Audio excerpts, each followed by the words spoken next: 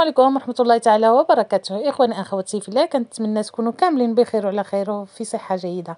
مرحبا بكم من جديد في هذا الفيديو اللي كنتمنى يلقاكم بصحة وعافية وأحوال تامة. إخواني أخواتي بطبيعة الحال مع آخر الأخبار وآخر المستجدات اليوم إخواني أخواتي تم القبض على المتهم الرئيسي في ارتكاب المجزرة ديال سلا اللي في حق ستة ديال الأفراد يعني من الأفراد من عائلة وحدة. في حي الرحمن يعني في مدينة سلا ومن بين ستة ديال الأفراد إخواني أخواتي يعني رضيع وواحد القصير.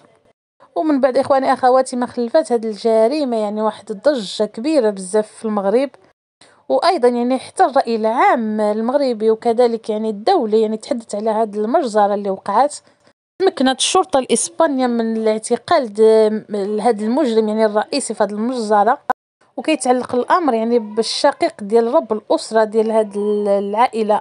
وهذا اللي ارتكب الجريمة يعني كان مشى لإسبانيا سنة 2002 وخرج للمغرب يعني السبب ديال الخروج ديالو للمغرب هو النزاع مع الشقيق ديالو أو مع الرب لهاد الأسرة اللي تم يعني المجزرة ديالها عن السبب ديالو يعني الإرث. ولكن يعني الأمر تطور ورجعت لدافع انتقام. هذا المتهم إخواني أخواتي يعني تم الاعتقال ديالو في مدينة كاستيون في إسبانيا. من بعد ما كان مراقب يعني في المنطقة المقيم فيها من طرف السلطات الإسبانية.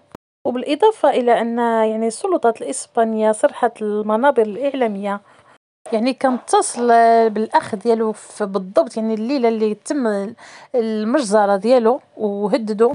وتم يعني التهديد ديالهم يعني في هذه المحادثة أو في هذا الاتصال وهددهم بأن غادي يهبط للمغرب ويقوم بتصفيته له هو والعائلة ديالو. وهذا الشيء اللي دار إخواني أخواتي يعني كلف واحد العصابة إجرامية مقابل المادي وهاد العصابة كتكون إخواني أخواتي من 14 شخص وفي الختام إخواني أخواتي تجدر الإشارة إلى إن الأمن المغربي كان منين وقعت هذه الجريمة. دار مذكرة يعني بحث دوليه للبحث على مهاجر مغربي متهم في ارتكاب الجريمة.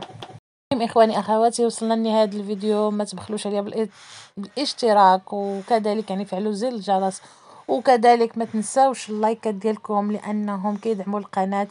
والسلام عليكم ورحمة الله تعالى وبركاته.